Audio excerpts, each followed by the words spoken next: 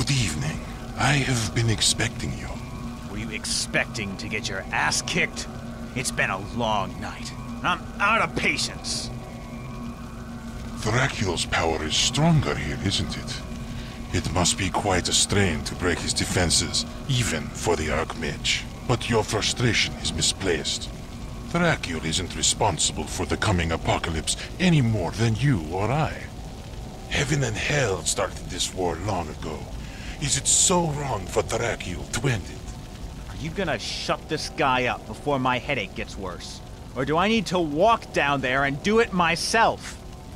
I see you do not yet share my perspective. Perhaps someday you will, if you live as long as I have.